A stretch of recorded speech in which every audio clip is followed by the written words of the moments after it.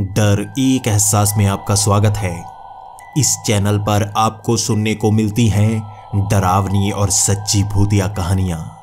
अगर आपको ऐसी ही वीडियोस देखना पसंद है तो हमारे इस चैनल को सब्सक्राइब करना ना भूलें। तो अब बढ़ते हैं आज की कहानी की ओर।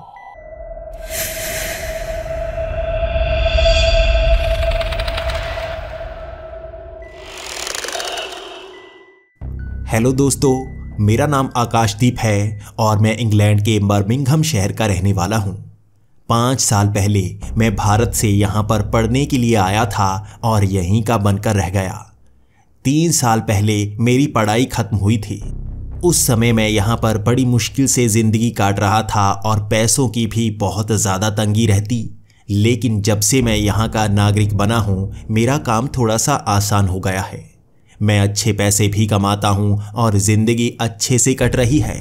लेकिन जो भी भारतीय इंग्लैंड में रहता है, वो कुछ ना कुछ तरकीब लगाता रहता है। यहाँ पर हम हमेशा सस्ते स्टोर पर जाकर ही अच्छा और सस्ता सामान खरीदते हैं। हमें पैसे बचाने की लत लग जाती है। भले ही यहाँ पर तनख्वाह अच्छी मिलती है, फिर भी ज़्यादा से ज़्यादा पैसे बचा पाना एक अच्छी आदत ही तो होती है। इसी कारण मैं सड़कों पर घूमता हूँ और यहाँ पर कुछ लोगों को जब सामान पुराना होने के कारण फेंकने की ज़रूरत होती है तो वो घर के बाहर रख देते हैं। उस सामान को कोई भी ले सकता है, जिसे उसकी ज़रूरत हो। कुछ लोग इसके बदले में थोड़ा पैसा मांगते हैं और कुछ लोग तो मुफ़्त में ही दे देते हैं। यही कारण है, छुट्टी वाले दिन मैं ऐसे ही दिन निकाल देता हूँ। सड़कों गलियों में घूमते हुए और कभी कभी काम की चीज़ मुझे मिल ही जाती है। मैंने बेड भी किसी के घर से ऐसे ही लिया था और एक बड़ी एलसीडी स्क्रीन भी मुझे ऐसे ही मिल गई थी। लोग पैसे लेते ही नहीं घर के बाहर सामान रखते हैं और इसी बहाने उनका सामान घर से निकल जाता है, वरना कूड़े में फेंकने के कारण भी उन्हें नुकसान ही होगा। किसी के काम आ जाएगा तो अच्छा होगा। मैं इस बार भी इसी तरह से घूमता घूमता शहर के बाहरी इलाके में पहुँच गया था। यहाँ पर पुराने घर हैं और ये घर सौ से डेढ़ सौ साल पुराने हैं। मैं हमेशा इन घरों को देखकर ये सोचा करता हूँ, अंदर से ये घर कैसे होंगे? बाहर से दिखने में ये पुराने से लगते हैं, लेकिन कुछ घरों में बहुत अमीर लोग रहते हैं। घरों के अंदर कैसा सामान रखा होगा? अमीर रहते कैसे हैं? और पुराने घरों को अब भी वो इस्तेमाल क्यों कर रहे हैं, जबकि महँगे से महँगे घर वो यहाँ पर खरीद सकते हैं? मन में ख्याल तो बहुत आते हैं, लेकिन जवाब कोई दे नहीं पाता। ऐसे ही घूमते घूमते मैं एक टूटे हुए पुराने घर के बिल्कुल सामने पहुँच गया था। बहुत सारा सामान रखा हुआ था और इसी के साथ एक बुज़ुर्ग आदमी वहाँ पर बैठा हुआ था। वो इस सामान को बेच रहा था बहुत ही सस्ती कीमत पर। सबसे पहले तो मैं उन सामानों को देखने लगा।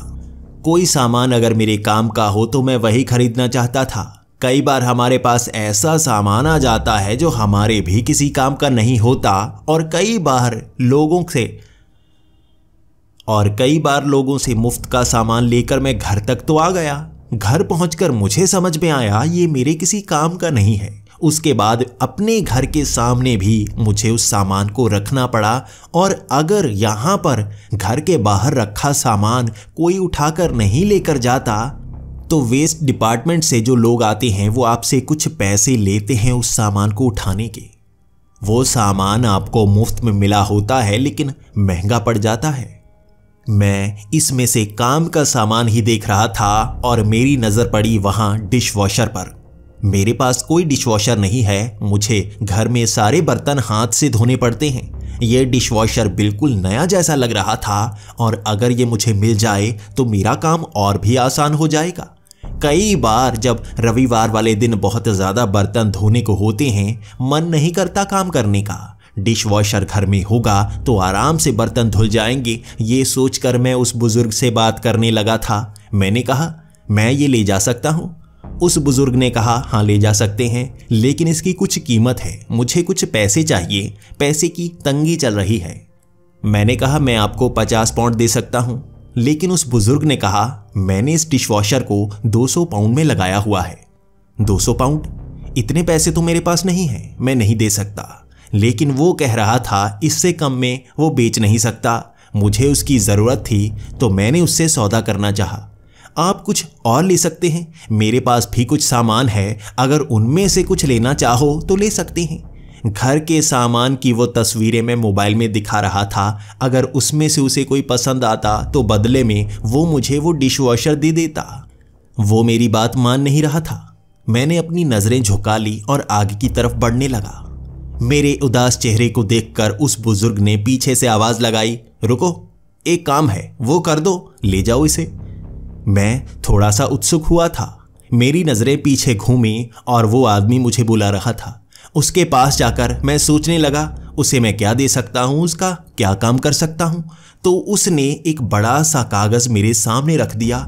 उस पर साइन करने को कहा। उसने कहा कि हम कुछ एक्सपेरिमेंट करते हैं। अगर तुम उसमें हिस्सा लेना चाहो तो यहाँ पर साइन कर सकते हो। यहाँ नीचे नंबर भी लिख देना। उसके बाद कभी ज़रूरत हुई तो मैं तुम्हें फ़ोन कर लूँगा। बस यहाँ पर साइन कर जाना। मैं सोचने लगा था, बस इतना सा काम है। एक्सपेरिमेंट में हिस्सा लेना है, उसके बदले में डिशवॉशर मिल जाएगा तो ले ही लेता हूँ। लेकिन यहाँ पर मैंने एक चालाकी दिखाई थी। मैंने उस कागज़ के नीचे साइन कर दिया था, उसे अच्छी तरह से पढ़ लिया था। उसमें लिखा था कि कल से ही वो एक्सपेरिमेंट शुरू होना है, आप उस पर भाग ले सकते हैं। लेकिन चालाकी दिखाते हुए नीचे जो फ़ोन नंबर देना था, वो मैंने गलत लिख दिया। वो मुझसे कोई आईडी प्रूफ नहीं मांग रहा था। बस कागज़ पर साइन लेने थे और मैंने साइन भी गलत से किए थे। मैं ऐसे साइन नहीं करता। मैंने सोचा हुआ था बाद में मुकर जाऊँगा। डिश वॉशर तो मेरे पास पहुँच ही जाएगा। ये सोचते हुए मैंने वो डिश वॉशर लिया अपनी गाड़ी में रखा और वहाँ से निकल गया। मेरे चेहरे पर मुस्कान थी। उस बूढ़े आदमी को बेवकूफ़ बना दिया था। पता नहीं कौन सा एक्सपेरिमेंट करता है, पता नहीं कौन सी कंपनी है उसकी, लेकिन उसको ये भी नहीं पता मैं कितना चालाक था। साइन गलत किए, नंबर गलत दिया, कभी उसे दिखूँगा तक नहीं, कभी वो मुझसे बात नहीं कर पाएगा। यही सोचता हुआ डिशवॉशर को घर ले आया था, सही जगह पर लगा दिया था, कुछ बर्तन धोकर देख भी लिए थे और मेरी खुशी का ठिकाना नहीं था। काम से आकर बर्तन इसमें डाल दिया करूँगा, आराम से बर्तन धोकर टीवी देखा करूँगा। आज भी कुछ ऐसा ही करता हूँ। अमूमन मैं रात के नौ बजे बर्तन धोने शुरू करता हूँ और दस बज जाते हैं बर्तन धोते धोते, लेकिन आज कुछ अलग था। मैंने उसमें बर्तन डाल दिए, उसके बाद मैं टीवी देखने लगा। उस डिशवॉशर में मेरे बर्तन जल्दी जल्दी धोए गए थे, इसीलिए टीवी देखते देखते मेरी कब आँख लग गई मुझे पता नहीं चला। आज खुशी बहुत थी और मैं थोड़ा सा थका हुआ था। बहुत घरों में घूमकर आया था। अगली सुबह मेरी नींद खुली और मैं अपने घर में नहीं था। मैं किसी काले से कमरे में मौजूद था जहाँ पर ईंटें लगी हुई थी। वहाँ एक छोटे से सुराख से रोशनी कमरे के अंदर आ रही थी। मैं घबरा गया, कहीं ये सपना तो नहीं? मैं कहाँ पर मौजूद हूँ? ये मेरा घर नहीं लगता। आसपास देखता रहा तो उन दीवारों पर लगी हुई ईंटें दिख रही थी। ये कोई टूटा फूटा पुराना घर लग रहा था। लेकिन मैं यहाँ पर कैसे पहुँच आया, इसका जवाब मेरे पास नहीं था। मैं उठ खड़ा हुआ। उसके बाद मैं बाहर जाकर देखने लगा। मेरी नज़र पैर पर पड़ी। पैर पर एक नायलॉन की रस्सी बांधी गई थी, जिसे मैं छुड़ा नहीं पा रहा था। वो रस्सी दीवार पर लगी एक कील से बांधी गई थी और इतनी ज़ोर से गांठ बांधी गई थी कि मैं खींच कर उसे खोल नहीं पा रहा था। ये किसने मुझे कैद कर दिया? आखिर यहाँ हो क्या रहा है? बार बार आँखें मलता हुआ मैं ये जानने की कोशिश कर रहा था, क्या मैं सपने में ही तो नहीं? लेकिन आँखें मलने के बावजूद भी मैं उसी कमरे में मौजूद था। रस्सी से बंधा हुआ और नायलॉन की उस रस्सी को खींचकर भी तोड़ा नहीं जा सकता था। बड़ी मोटी थी। एक तरफ़ कील से बांधी गई थी तो एक पैर से ऐसी मोटी गांठ बांधी गई थी कि बैठकर खोलने के बावजूद भी खुल नहीं रही थी। बड़ी ज़ोर से बांधी हुई गांठ मुझे खोलनी नहीं आती और खींचकर उसे तोड़ा नहीं जा सकता तो मेरी चीखें निकल गई थी। कहाँ हूँ मैं? किसने मुझे कैद कर रखा है? आवाज़ें लगा रहा था लेकिन कोई जवाब नहीं आ रहा था। वो रोशनी सूरज की थी जो काफ़ी दूर से आ रही होगी। मैं ऐसा महसूस कर पा रहा था, ये कमरा इकलौता नहीं है। आसपास और भी कमरे होंगे, लेकिन चारों तरफ़ दीवारें ही दीवारें थी, कोई दरवाज़ा नहीं था। इस चीज़ ने मुझे ज़्यादा डरा रखा था। ऐसा कमरा, जिसका कोई दरवाज़ा नहीं है, मैं अंदर कैसे आया? दीवारों पर हाथ लगाकर मैं ये चेक कर रहा था ये दीवारें नई तो नहीं बनाई गई। मुझे अंदर कैद करके बाद में दीवारों का निर्माण तो नहीं किया गया ले, लेकिन नहीं ये दीवारें पुरानी थीं।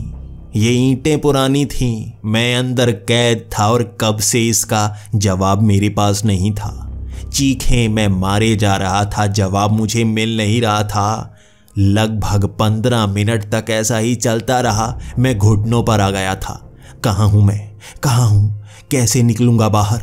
कभी मैं छत की तरफ़ देखता, कभी ज़मीन की तरफ़ देखता तो कभी दीवारों की तरफ़। एक छोटा सा छेद जिससे रोशनी आ रही थी, उसके बीच से मैं निकल नहीं सकता था, वो बहुत ज़्यादा छोटा था। उसके सिवा बाहर जाने का कोई रास्ता था ही नहीं। कैसा कमरा बनाया गया है? ज़मीन पर मोटा फर्श। छत से मैं बाहर नहीं निकल सकता। दीवारों पर कोई रास्ता नहीं। क्या करूँ मैं? आँखों में पानी आ गया था और समझ में कुछ आ नहीं रहा था, किसने कैद किया है मुझे? कैसे घर से उठाया है कि मुझे कोई याद ही नहीं बची? इधर उधर झांकता रहा, अचानक मेरी नज़र एक कोने पर पड़ी। मैं एक कोने पर बंधा था और ये कोई चीज़ थी जो दूसरे कोने पर थी, जहाँ पर मैं पहुँच नहीं सकता था।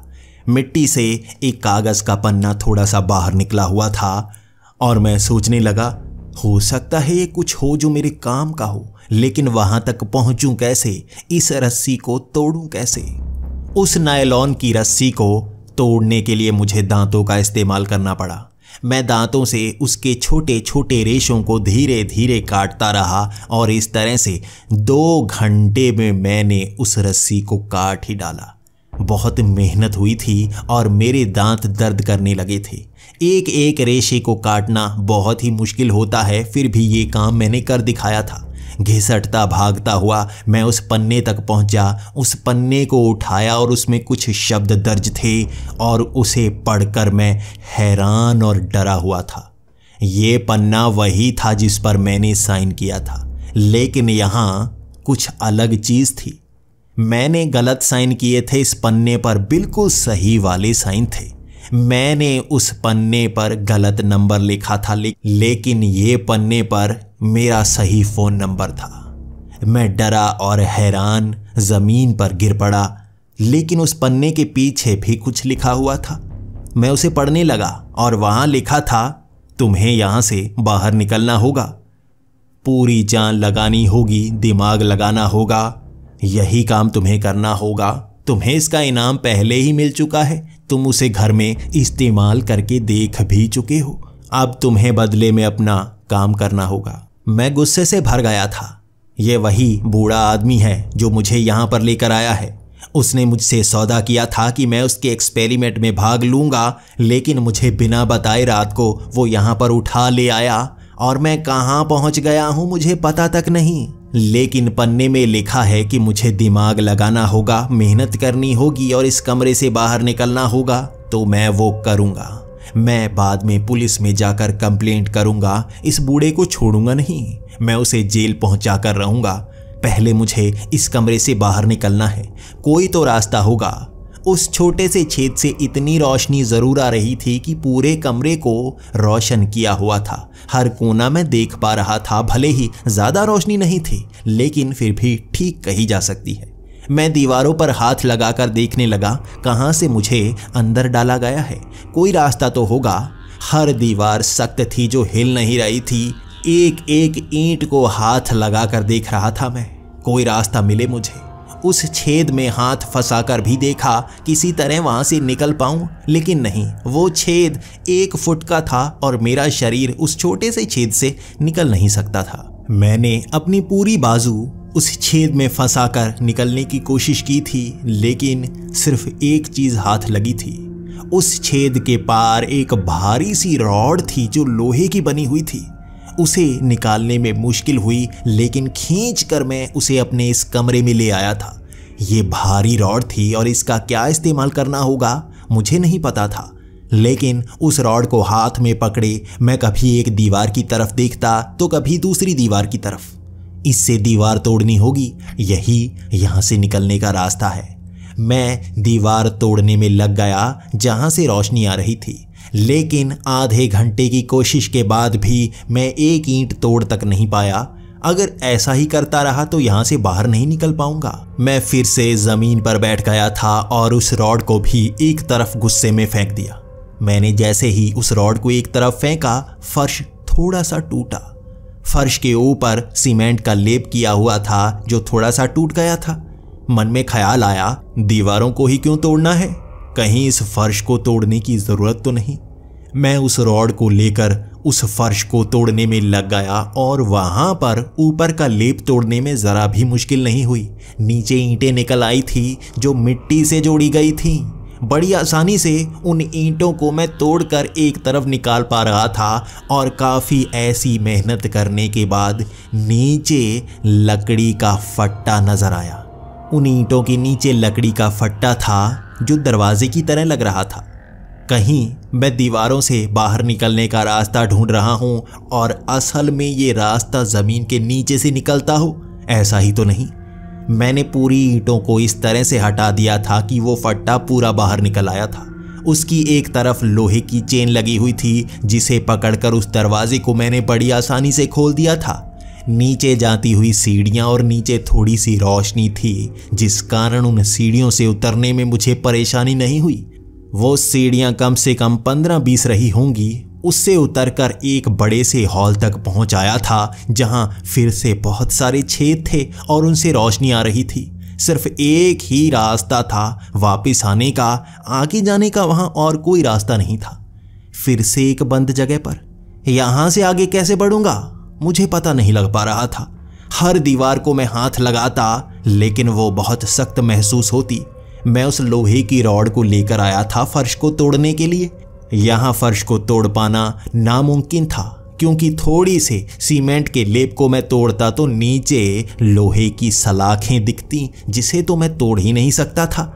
दीवारों पर हुए उन कई छेदों को तोड़ने की कोशिश भी की थी मैंने, वो भी टूट नहीं रहे थे। मैं अब बंदी जैसा महसूस कर रहा था, जो एक जेल से निकलकर दूसरी जेल में फंस गया था। मैंने तीन घंटे तक कोशिश की थी। वहाँ ज़मीन पर जितना भी फर्श लगा था, हर जगह मैंने उस लोहे की रॉड को मार कर देखा। हर जगह लोहे की सलाखें ज़मीन पर थी। इस तरह से जाल बिछाया गया था कि उन्हें तोड़ा जा ही नहीं सकता। मायूस था मैं। हाथ से लोहे की रॉड गिर पड़ी। मुझे लगा यहाँ से बाहर निकलने का कोई रास्ता नहीं होगा। मैं नम आँखें लिए कभी इधर झांकता तो कभी उधर झांकता। कोई रास्ता तो दिख जाए। इस बंद हॉल में कहाँ से ढूंढूँगा कोई बाहर जाने का रास्ता? मैं मायूस था और कुछ कर नहीं पा रहा था, तभी मेरी नज़रें दीवारों पर पड़ी। हर दीवार का रंग अलग था। क्या इसका कोई फ़ायदा हो सकता है? क्या हर दीवार को अलग से तो नहीं बनाया गया? मैंने फिर से उस लोहे की रॉड को हाथ में ले लिया था और दीवार की ईंटों को तोड़ने की कोशिश की। पहली दीवार को तोड़ने में बहुत मुश्किल हुई, लेकिन वो टूट ही नहीं रही थी। वो ईंटें जैसे मिट्टी की नहीं बनी थी, किसी और धातु की बनी हुई थी। जैसे ही मैं रॉड मारता, एक धातु के खनकने की आवाज़ आती। बहुत कोशिश की मैंने, मैं समझ गया था, इन ईंटों को तोड़ा ही नहीं जा सकता। उस सीमेंट को हटाया नहीं जा सकता तो मैं दूसरी दीवार पर जा लगा। दूसरी दीवार पर भी मैंने लोहे की रॉड मारी तो उससे अजीब पत्थर की आवाज़ आई। ये ईंटें भी मिट्टी की नहीं बनी थी, बल्कि पत्थर की बनाई गई थी, जिन पर लाल रंग का पेंट किया गया था। वो पेंट तो थोड़ा सा निकल रहा था, लेकिन ईंटों को तोड़ा नहीं जा पा रहा था। तीसरी दीवार, मैंने फिर से कोशिश की, और इस दीवार की ईंटें थोड़ी बैंड हो रही थीं। मैंने देखा, उसमें से सिल्वर कलर शाइन कर रहा था। ये एल्युमिनियम की ईंटें थीं, लेकिन फिर भी अंदर से सख्त थीं। हर कोशिश करने के बाद भी मैं थक गया, लेकिन उन्हें सिर्फ़ बैंड कर पाया, तोड़ नहीं पाया। चौथी दीवार, मैं मायूस था, कुछ कर नहीं पाऊँगा। मुझे लगा था, ये टूटेंगी नहीं, ये किसी अलग धातु की बनी होंगी। लेकिन पहली ईंट पर ही जैसे मैंने रॉड मारी, मैं देख पा रहा था, वो सीमेंट से नहीं जुड़ी थी, बल्कि मिट्टी से जुड़ी थी। साधारण कच्ची ईंटें, जो बड़ी आसानी से टूट गई। वो कुछ ईंटें तोड़ी थी पार का छोटा कमरा दिख रहा था मुझे। मैं समझ गया, इस दीवार को तोड़ना है। बस उतना सा रास्ता बनाना है कि दीवार को तोड़कर दूसरी तरफ़ पहुँच पाऊँ। फिर देखूँगा कौन सा कमरा है वो। उस दीवार को तोड़ने में मुझे डेढ़ घंटा लग गया, क्योंकि दीवार की मोटाई थोड़ी ज़्यादा थी। ईंटों को आसानी से तोड़ पा रहा था, लेकिन दीवार मोटी होने के कारण समय ज़्यादा लगा। थका हारा सा मैं उस कमरे में पहुँचा था। वो भी इस हॉल जितना ही बड़ा सा कमरा था, जिस पर कई दरवाजे बनाए गए थे, लेकिन वो दरवाजे ज़मीन के पास नहीं थे, बल्कि छत के बिल्कुल पास बनाए गए थे। वहाँ तक चढ़े कैसे? ये परेशानी का सबब था। आखिर ये कैसा एक्सपेरिमेंट है? आखिर यहाँ पर हो क्या रहा है? मुझे कैसी जगह पर बंदी बनाकर रखा गया है? ये करना क्या चाहते हैं? छत के पास वो दरवाजे ज़मीन से दस फुट की ऊंचाई पर थे। छलांग लगाकर भी उस दरवाजे को मैं छू नहीं पा रहा था। इतना ऊपर जाऊँगा कैसे? वहाँ तक पहुंचूँगा कैसे? एक दरवाज़ा ज़रूर आगे जाने का होगा। मैं पहचान गया हूँ उस व्यक्ति को। यहाँ पर एक्सपेरिमेंट कुछ ऐसा ही हो रहा है। मुझे और क्या करना चाहिए? दीवारें पत्थर की बनी लग रही थी, लेकिन ज़मीन पर फर्श नहीं, बल्कि मिट्टी थी। मिट्टी का इस्तेमाल कैसे करूँ? तभी मन में ख्याल आया, मिट्टी को खोदूँगा, एक तरफ़ ढेर लगा दूँगा और उस ढेर पर चढ़कर मैं दरवाजे को खोलूँगा, यही रास्ता है। उसके बाद मैंने उस लोहे की रॉड को खोदने के लिए इस्तेमाल करना शुरू कर दिया। मैं थकने लगा था, लेकिन वो मिट्टी बहुत ज़्यादा नरम थी, आसानी से खोदी जा पा रही थी। लेकिन बड़ा सा ढेर लगाना इतना आसान नहीं होता। बहुत सारी मिट्टी चाहिए होती है। शरीर थकने लगा था। मैंने एक तरफ़ एक छेद किया और तभी ज़मीन से एक हाथ निकला। ये हाथ किसी ज़िंदा इंसान का नहीं था। अधकटा सा हाथ। कुछ हड्डियाँ थी उंगलियों में। वो भी बाहर की तरफ़ झाँक रही थी। वो हाथ ज़मीन से बाहर निकला था। मैं डर कर पीछे भाग निकला। जाऊँ भी तो कहाँ जाऊँ? पीछे वाले हॉल में चला जाऊँ? मैं भागकर उस पीछे वाले हॉल की दीवार के पास पहुँच गया था और झांकने लगा था उस छेद की तरफ़ जो मैंने ही ज़मीन में बनाया था। वो हाथ निकला उसके बाद कंकाल सा। बाहर आ गया था। वो ज़िंदा इंसान नहीं, बल्कि एक कंकाल था। वहाँ इधर उधर जैसे मुझे ढूंढ रहा था। उसकी कोई आँखें नहीं थी, बस खोपड़ी थी, लेकिन फिर भी जैसे उससे वो देख पा रहा था। यहाँ पर अजीब सी शक्तियाँ हैं जो कुछ कर रही हैं।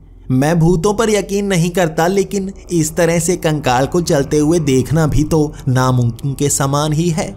वो मुझे ढूंढता हुआ मेरी तरफ़ भागने लगा था। मैं पीछे वाले हॉल में पहुँच गया था, उसके बाद उसी कमरे में जाना चाहता था। और क्या करता मैं?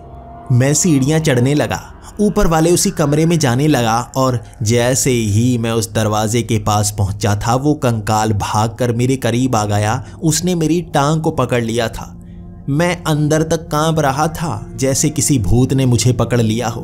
मैं डरा हुआ चीख रहा था। दिल की धड़कन इतनी तेज थी मेरी कि जान निकल जाती। मैंने अपना पैर झटका और उसकी बाजू टूटकर नीचे गिर पड़ी।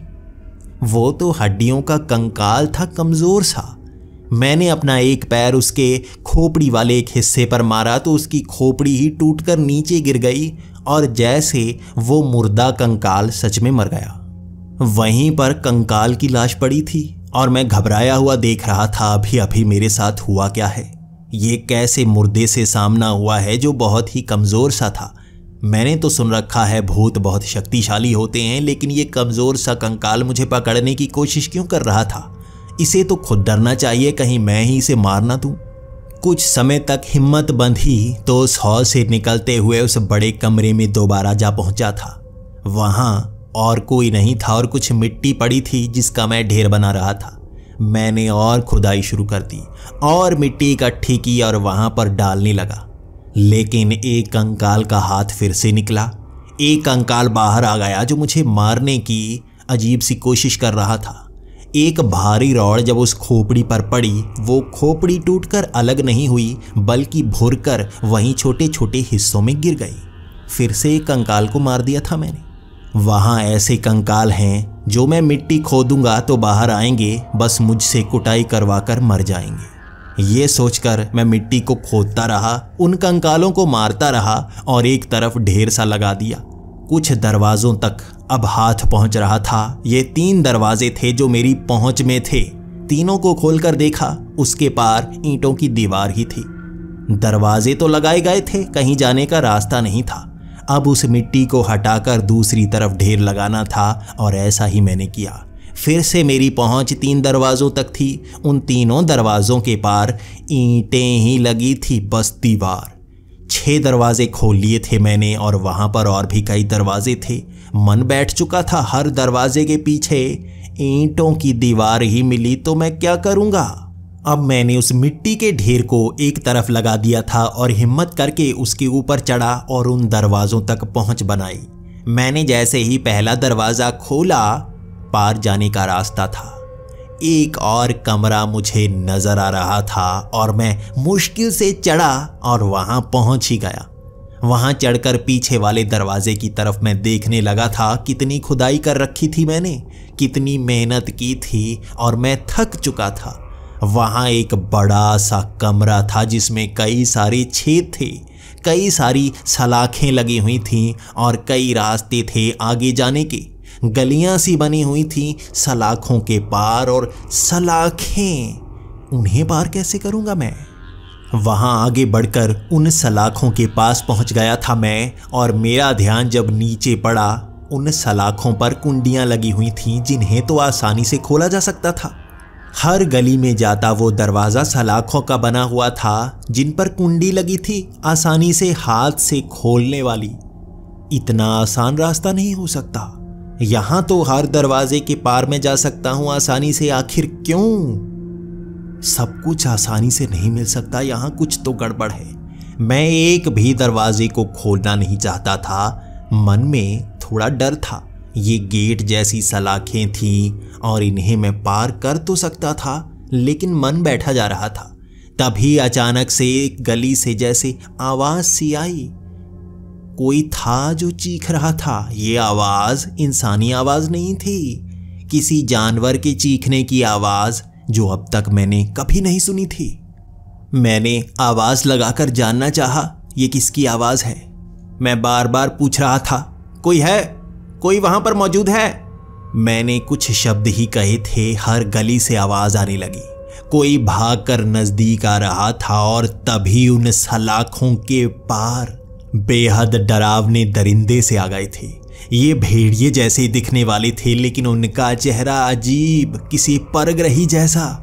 उनका मुँह खोलता और उनकी जबान बहुत लंबी, जो सलाखों के पार मुझे पकड़ने की कोशिश कर रही थी। वहाँ हर गली में से वैसा ही शैतान खड़ा, जैसे इंतज़ार कर रहा था, मैं उसकी कुंडी खोल दूँ, और वो मुझे निगल ले। मैं चीखता हुआ पीछे वाले उस हॉल में ही जाना चाहता था। यहाँ तो बहुत ज़्यादा खतरा है। कहीं एक कुंडी इन्होंने खुद खोल ली तो मुझे खा ही जाएँगे। क्या करूँ मैं? उस ऊंचाई से छलांग लगाकर मैं पीछे वाले उस कमरे, उस हॉल में जाना नहीं चाहता था। वहाँ पर भी मैं गिर जाता और यहाँ भी मुझे खतरा महसूस हो रहा है। कहीं इन्होंने कुंडी खोली तो मैं क्या करूँगा? लेकिन उनसे कुंडी खोली नहीं जा रही थी, वो बस सलाखों को तोड़ने की कोशिश कर रहे थे।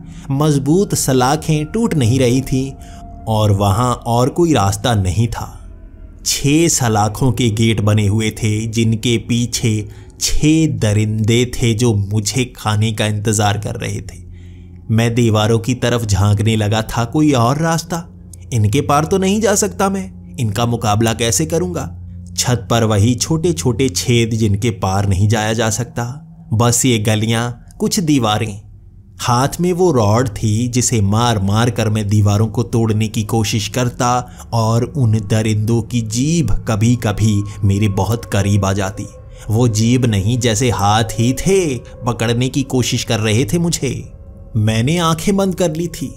मैं ठंडे दिमाग से सोचना चाहता था, कोई बचने का रास्ता तो होगा। कुछ समय तक आँखें बंद करने के बाद जब मैंने आँखें खोली तो दिमाग सही से काम कर रहा था। ये भयानक से दरिंदे थे, जिनकी बाजुएँ बहुत छोटी सी थी। ये कमज़ोर सी बाजुएँ होंगी जो किसी को पकड़ नहीं सकती। इनकी जबान बहुत लंबी है और शक्तिशाली लग रही है। मिट्टी के छोटे छोटे जो हिस्से थे, उन्हें काट रही थी वो जबान। अगर इस जानवर की इस जबान को मैं पकड़ लूँ या कुछ कर दूँ, तभी बचने का रास्ता है। हाथों से ये कुछ कर नहीं पाएगा और पैर बहुत मोटे मोटे थे जो कहीं भी फंस सकते हैं। वो इससे तेज़ी से भाग भी नहीं सकता। मैं अब एक दरिंदे के करीब था, उन सलाखों के पास और सोच रहा था, कैसे फंसाऊं इन्हें? मैं इस कुंडी से इन सलाखों के गेट को खोल सकता हूँ, लेकिन इनको संभालना होगा। उसने जबान से मेरी टांग को पकड़ लिया था और उसकी पकड़ बहुत मज़बूत थी। उस जबान पर थोड़े थोड़े कांटे थे और वो कांटे शरीर में चुभ रहे थे मेरे। मेरी टांग को तेज़ी से खींच रहा था।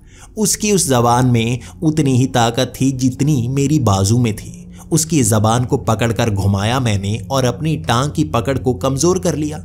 इसी तरह बचा था, लेकिन उसकी जबान मेरे हाथ से चिपक सी गई थी और खींचकर वो मुझे अपने मुँह में लेना चाहता था।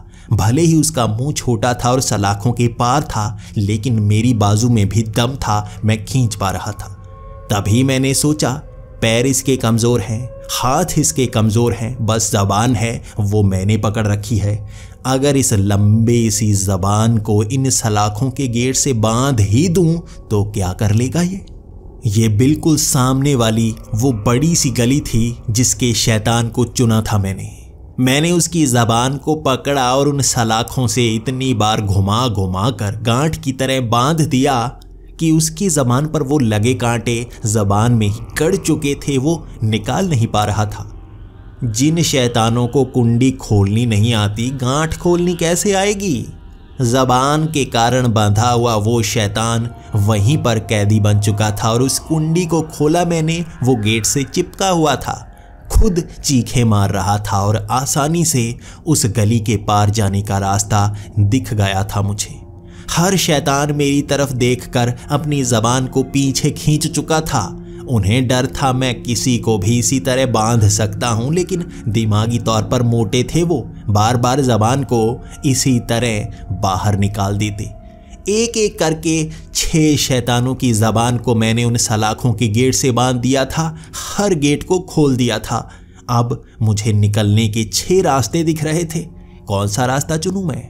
उन सब रास्तों से एक एक जाकर आगे बढ़ने का प्लान बनाया था मैंने।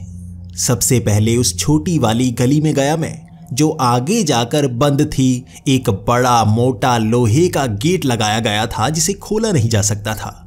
आधा घंटा वहाँ भी लगाया मैंने। हर तरकीब लगाई, कैसे उससे आगे बढ़ा जा सकता है? हार मानकर मैं वापस आ गया। एक एक करके उन रास्तों पर भी गया मैं। पाँच रास्ते एक ही तरह के गेट तक पहुँचते थे। वो एक ही गेट में जाने का रास्ता था और अब छठे रास्ते पर बढ़ते हुए मैं सोच रहा था, कहीं ये भी वहीं तक ना पहुँचता हो। मैं एक जगह पहुँचा और सामने एक कागज़ का दरवाज़ा था। हाथ लगाते ही पता चल रहा था, वो गत्ते और कागज़ से बना हुआ था। मैंने उसे खोला तो वहाँ बहुत सारे पन्ने थे जिन पर कुछ लिखा हुआ था। ये कौन सी भाषा थी? मुझे समझ में नहीं आ रही थी। एक एक पन्ने को मैं हटा रहा था। ये कैसा दरवाज़ा है? या बड़ी सी किताब रखी हुई है? है क्या चीज़? सारे पन्नों को हटा देता हूँ, आखिर में देखता हूँ रास्ता आगे बढ़ने का है या नहीं। मोटे मोटे उन पन्नों को एक साथ पकड़ते हुए मैंने किताब के सभी पन्ने एक तरफ़ सटा दिए थे। सामने आगे जाने का कोई रास्ता नहीं था। गत्ते का दरवाज़ा लगा हुआ था पीछे भी। उसे मैंने उस लोहे की रॉड से फाड़ दिया। पीछे लोहे का गेट। वैसा ही। मैं एक ऐसी बंद जगह पर आ गया था जहाँ आगे बढ़ने का रास्ता मौजूद ही नहीं था। मैं ज़मीन पर बैठ गया था। उसके बाद फिर से हिम्मत जागी। टांगों में थोड़ी सी जान आई तो मैं छत की तरफ़ झांकने लगा, कभी दीवारों की तरफ़। दीवारों पर लोहे की रॉड मारता, लेकिन उन पत्थरों को मैं तोड़ नहीं पा रहा था। हर कोशिश कर ली थी मैंने, कोई और रास्ता होगा आगे बढ़ने का, लेकिन नहीं था। उसके बाद मैं वापस मुड़ा, उन रास्तों पर फिर से गया। वो छह रास्ते, कभी मैं एक रास्ते पर जाता, कभी दूसरे रास्ते पर। कहीं उस गली में कोई मोड़ तो होगा जो कहीं और ले जाएगा, लेकिन नहीं। घूम फिर कर मैं उस किताब के आगे ही आ जाता। यही हो सकता है वो रास्ता। इस किताब को पढ़ना होगा। क्यों यहाँ पर बड़ी सी किताब रखी गई है? कौन सी भाषा है ये? मुझे समझना होगा। कोई ना कोई पहेली तो होगी इसमें, जिसमें आगे बढ़ने का रास्ता होगा। वहाँ मैंने शुरुआती पन्ना पढ़ा तो नंबर ही थे जो मेरे समझ में आ रहे थे, दूसरी भाषा समझ में नहीं आ रही थी। वहाँ कुल 340 पन्ने थे और मैं 340वें पन्ने को पीछे सटाकर आगे उस लोहे के गेट को देख पा रहा था। क्यों ना एक एक पन्ने को पलटूं? किसी पन्ने पर कुछ तो लिखा होगा ही जो मेरी समझ में आ ही जाएगा। एक एक करके पन्नों को पलटना शुरू हो गया। पहले कुछ पन्नों पर तो अजीब सी भाषा में लिखे हुए वो शब्द थे, लेकिन आगे वाले पन्नों पर आकृतियाँ बनी हुई थी। इंसान नहीं थे वो अजीब अजीब आकृतियाँ। कौन से जानवर थे? कुछ जानवर आधे इंसान और आधे जानवरों जैसे।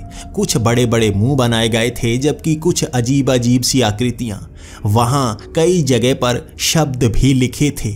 ए, बी, सी, इस तरह सिर्फ़ एक एक वर्ड लिखा हुआ था।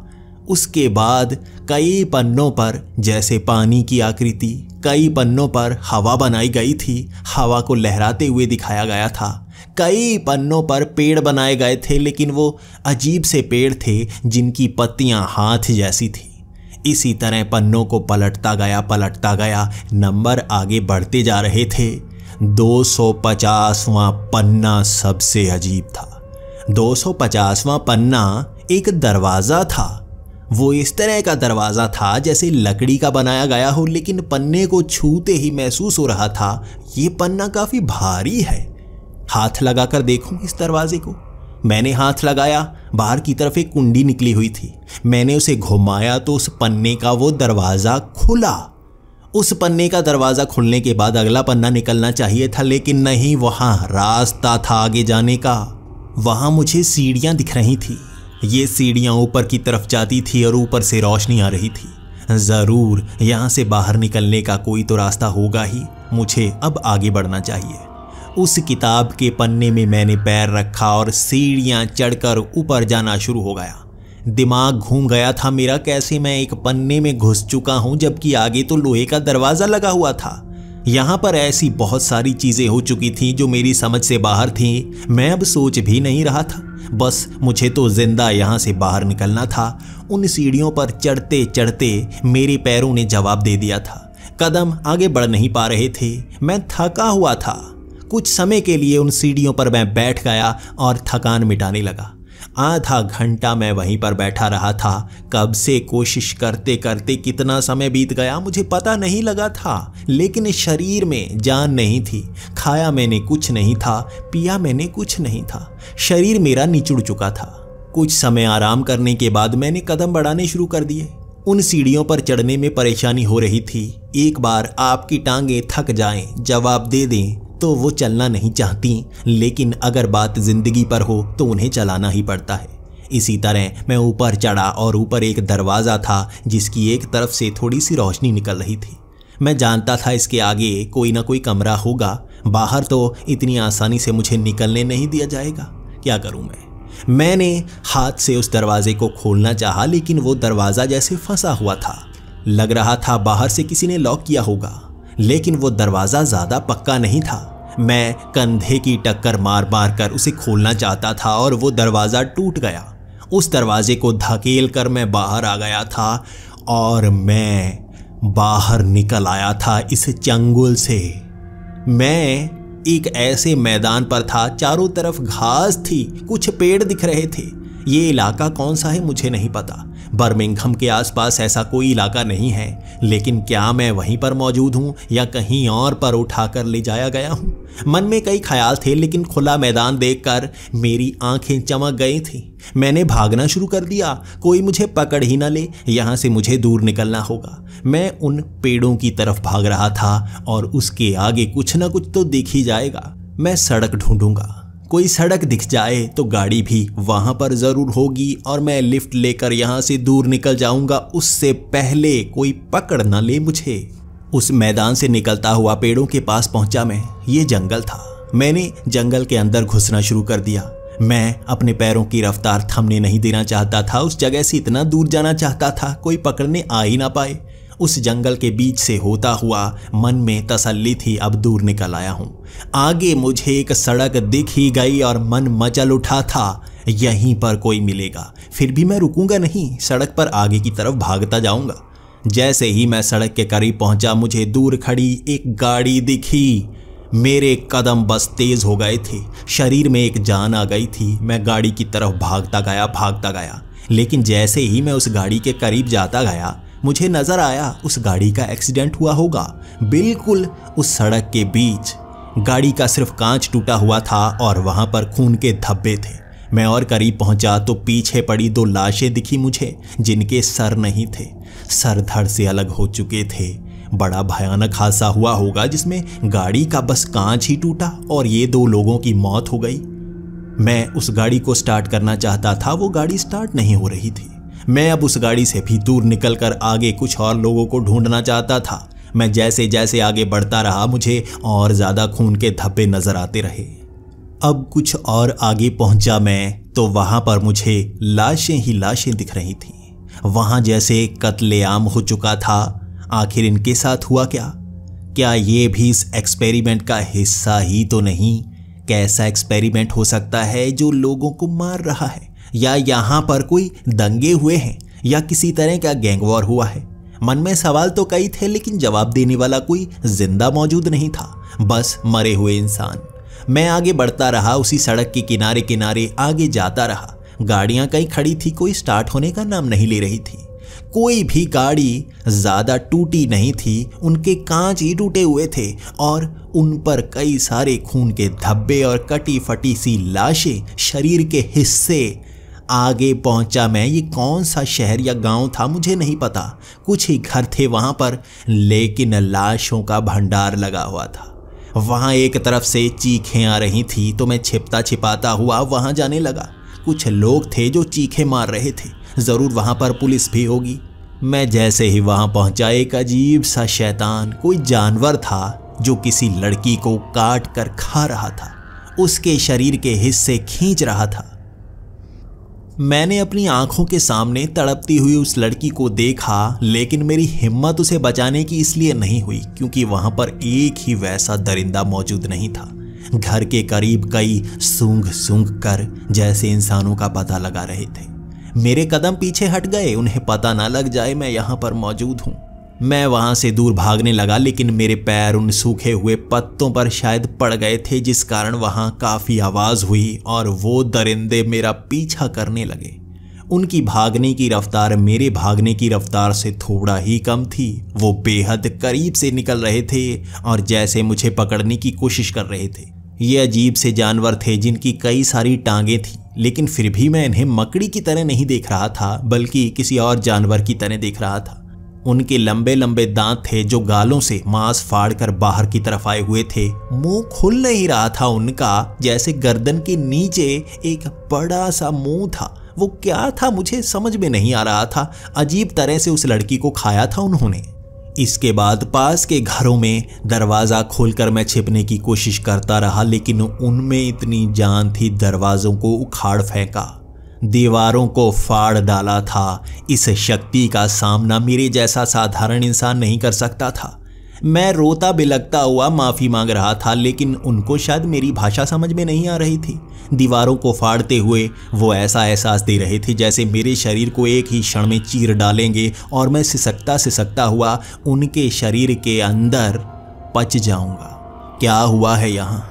मुझे मेरे सवालों का जवाब तक नहीं मिलेगा। ये घर के अंदर आएँगे और मुझे मार देंगे। वो सामने से दीवारों और दरवाजों को फाड़ रहे थे तो पीछे वाली वो खुली खिड़की देख मैं वहाँ से भागने की कोशिश करने लगा। मैं वहाँ से निकला और वो घर में अंदर घुसने की कोशिश करते रहे। उन्हें शायद पता नहीं लगा मैं पीछे की खिड़की खोलकर बाहर निकल आया हूँ। मैं भागता रहा, घरों में छिपता रहा, लेकिन उनकी संख्या बढ़ती जा रही थी। जैसे सबको पता चलता जा रहा था, एक इंसान है जो ज़िंदा है, भाग रहा है, उसका अंत करना है। सबका लक्ष्य एक ही था और लाशों के ऊपर से जाते हुए मुझे भी लग रहा था, मेरा यही हाल होगा।